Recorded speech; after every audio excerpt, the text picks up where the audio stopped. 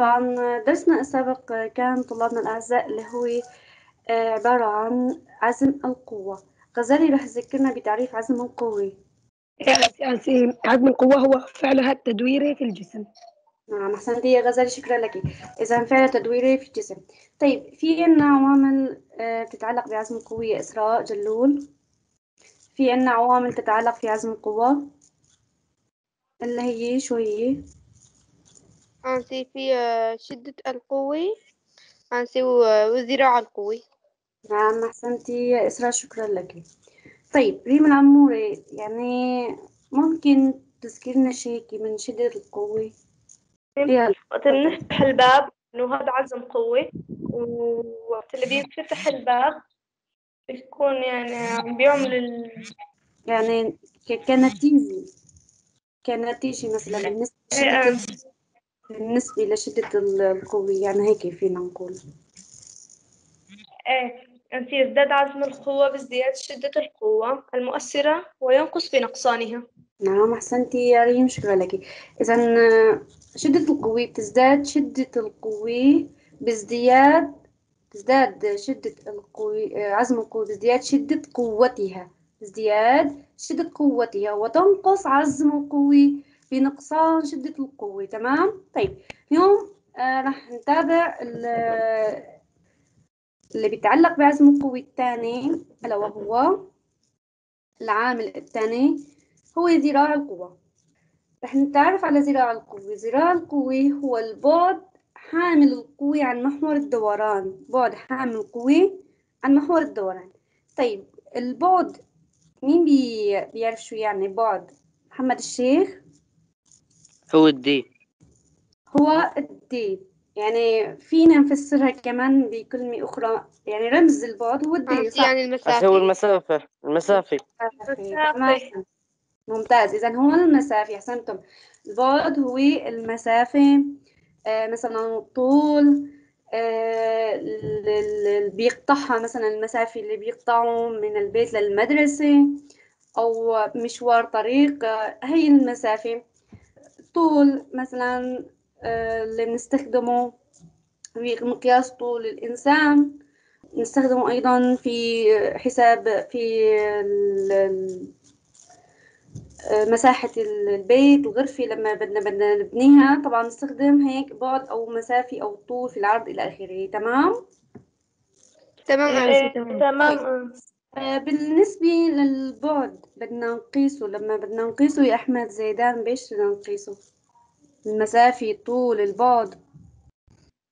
آه، يعني بالواحد بيش تقاس بالواحد؟ يعني لما بدك تقيس طولك. أحمد لما نعم سنتيمتر؟ نعم. سنتيمتر أحسنت يا أحمد. إذا تقاس البعد آه، أو المسافة أو الطول أو الآخري بسنتي مقاييس الطول. آه، بسنتيمتر كيلومتر سنتي آه، بالمتر بالمليمتر إلى آخره من هذه المقاييس. طيب هذا ال- ال- الباب أمامنا في باب طبعا جانبا. آه، عرفنا إحنا محور الدوران محور الدوران اللي هو بيكون عند آه، فواصل الباب فاصل الباب اللي هذا الفاصل بيساعد على الوقوف الباب بيساعد الباب على الدوران أو التحريك صح ولا خطأ؟ لا أنسي صح. أنسي تماما. إذا هون هذا هو محور الدوران عند فواصل الباب. لو أخذنا نقطة نقطة ما من باب وحاولنا فتح الباب. طبعا بتكون قريبة من محور الدوران. أخذنا نقطة من باب. مثلا بتكون قريبة من الباب. لاحظ لاحظ كيف رح ناخذ نقطة مثلا. أخذنا هي النقطة. قريبة من محور الدوران. آه إجا محمد الشيخ. بدي يحاول يفتح الباب. يحاول يفتح الباب.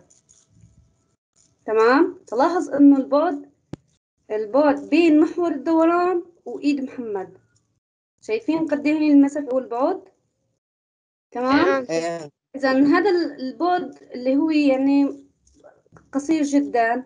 أو فينا نقول مثلا إذا بدنا نقيسه بالإيد يعني بي- بيقدر بالشبر. ما هيك؟ طيب هذا بنسميه البعد هو دي. تمام؟ أكيد حاولتوا أنتم شي مرة مثلا تمسكوا الباب بدكم تسكروه أو تفتحوه من نقطة من مثل هي النقطة اللي أخذها محمد. أكيد حاولتوا كي مثلا في حدا حاول هيك شيء ما حاولته؟ لا أنسي كيف؟ بعمله هيك يعني. يعني مثلا إنه بدكم تسكروا الباب أو تفتحوه مثلا ممكن إنه تمسكوا نقطة بس مو عند قبضة الباب أو مسكة الباب. بيكون مثلا قريبة لمحور الدوران قريبة للفواصل الباب اللي اللي بيساعد على تحريك الباب قريب لها إيه أنسي. إيه أنسي. أكيد جربتوها ما هيك؟ إيه أنسي إيه إنه. دفع هيك كأنه نمسكه بالمسكي. أيوه فمعناته إذا ما كنتم مجربينها أنتم وين عايشين؟ لازم مجربينها لازم إذا ما كنتم مجربينها لازم تجربوها لا يا أنسي جربناها. طيب لما حلو تمام. إذا لما آه، لما جربتوها ماذا تلاحظ؟ ماذا صارت؟ يعني ما بقى ينفتح بالباب. ما بقى ينفتح الباب بسهولة ما بينفتح الباب بسهولة. أحسنت يا محمد. إذا الباب هوني لما بدنا نمسكه من نقطة قريبة لمحور الدوران قريبة لمحور الدوران فمعناته إنه هون الباب بينفتح بسهولة لكن وليس بسهولة رح ينفتح بصعوبة. تمام؟ رح يفتح الباب بصعوبة. أحسنت يا محمد شكرا لك. تمام أصدقائي؟ تمام طيب. آه لو آه بعدنا عن محور الدوران وحاولنا فتح الباب. يعني مثلا أخذنا النقطة في منتصف الباب بالضبط. يعني بدنا نوضع بدنا نوضع ايدينا على منتصف الباب. يعني طبعا هو منتصف الباب ما في بيكون في قبضة باب يعني مسكة الباب. ما بيكون في مثلا أنت بدك تمسك بحرف الباب هيك مثلا بيكون في هيك مصمم قطعة خشبية مزخرف للباب. بدك تمسك أنت بحرف هذا الزخرفي للباب صح؟ إيه أنسي طيب لما لما بدك تمسك ال ال ال القطعة رح ت- رح يمسك لنا إياها أحمد الخطيب. أحمد فلاحظ إنه البعد بين أحمد والمحور الباب يعني طول شوي ولا قصر؟ لا أنسي طويل. أنت طويل. إذا طول البعد. بين تماما. إذا طول البعد نعم يا أحمد. يا سلام أنسي ليش ليش طويل أنت قصدك يعني إنها ضي طولت لا مو طولك ولا لا مو طولك. لا عادي دي البعد بين دي. يعني مثلا إيد ال... إيدك أنت مسكت الباب بحرف ما أو اخذت مثلا حددت نقطة ما على على على الباب وقست أنت من عند هي النقطة لعند لعند محور الدوران أو عند الفواصل تبع الباب. أنا هيك قصدي مو قصدي إنه على طولك. لا يا أنسي أنا قصدي إنه عادي قصدك أنت عم تقول إنه دي إيه. طولت يعني؟ إيه تماما إيه هيك دي دي قصدي يعني المسافة. إيه تماما. البعد إنه البعد طول. أنسي يعني بعدنا بين النيت وبعدنا بين إنه بعد المسافة بين إنه مثلا الشخص والمحور. تماما. بالضبط. البعد بين الشخص والمحور. لاحظ إنه هاي ال- أكيد مبينه أمامكم. البعد بين النقطة السوداء اللي هي عبارة عن نقطة أخذناها بدنا نفتح الباب أو نغلقه من هاي النقطة لعند محور الدوران اللي هذا باللون الأزرق محور الدوران. فهذا هو البعد دي. لاحظ إنه كان قبل أول تجربة كانت أقصر منا ما طول البعد هاللقين ما هيك؟ ما هيك؟ إيه أنسي أقصر. طيب لما أخذنا هوني والبعد فبدنا نفتح الباب أو نغلقه. ماذا نلاحظ؟ أحمد الخطيب تحب تجاوبنا؟ صارت أسهل. إذا بيصير الباب فتحه بسهولة. أحسنتم إذا بيفتح هيك الباب بسهولة. طيب لو أخذنا ال- لو بعدنا حتى قبضة الباب عن محور الدوران وحاولنا فتح الباب تمام؟ لو بعدنا لسه أكتر يعني هلا إحنا جربنا من عند اللي بيكون من عند قريب من نقطة ما بتكون عن محور الدوران جربنا في منتصف الباب اللي بتكون أبعد شوي عن محور الدوران ورجعنا كمان جربناها. هلا بدنا نرجع نجربها من عند مسكة الباب أو قبضة الباب. تمام؟ رح فنلاحظ إنه أنسي. البعد إيش بنلاحظ بالنسبة للبعد يا ابتسام.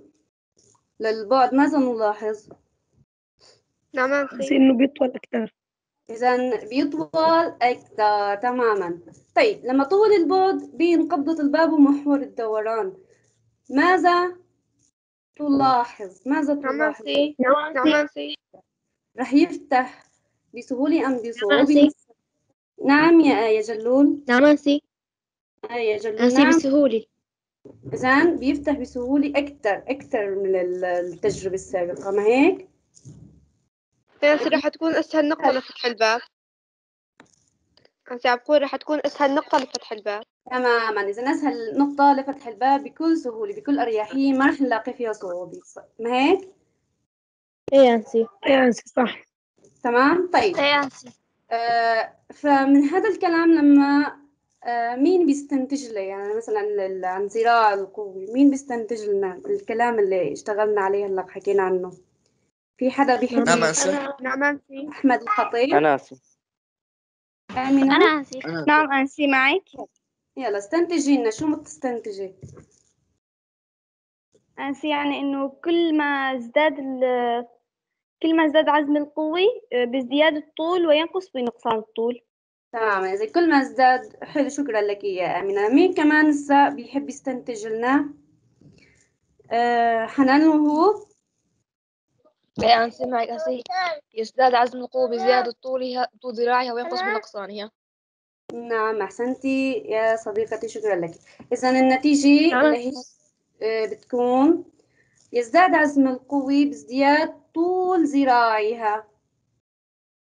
يعني بيسهل علينا فتح الباب اللي عزم القوة اللي بيتعلق هو بشدة القوة وبيتعلق أيضا في ذراع القوة.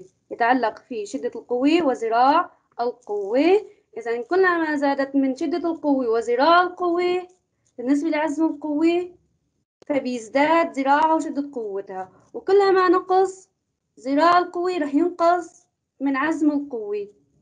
يعني كتجريبيا إنه رح ينقص من بينقص من طولها بينقص عزم القوة. يعني بفتح الباب تجريبيا تمام؟ إيه تمام. جمال السرجاوي تحبي تشارك معنا؟ يلا. السؤال لجمال إنه اذكر العاملين اللذين يتوقف عليهما عزم القوة. ما هما العاملين؟ طول آه، ذراع القوة. وأنسي والقوة اللي, مت... اللي... و... وبعد عن محور الدوران القوة شدة القوة. نعم شكرا لك يا جمال. ال- شدة القوة الشدة اللي هي F وذراع القوة. شكرا لك يا جمال أحسنت. إذا العاملين هما اللي بيتوقف عليهما عزم القوة هما. العامل الأول هو شدة القوة والعامل الثاني هو ذراع القوة. أي هو ذراع القوة المقصود هو بطول الذراع من ال- ال- النقطة اللي أنت أخذتها بدك تفتح الباب حتى محور دوران. أو من النقطة اللي أنت مثلا ماسك آه، مفتاح المفتاح البراغي بدك تفتح فيه آه، من المحور الدوران البرغي من. عند ال- ال- الذراع أنت مثلا ماسكه من نهاية المفتاح لعند هي هي البعد أو قربت إيدك لعند النص في منتصف مفتاح البراغي راح هون هي بيمثل الذراع تمام طيب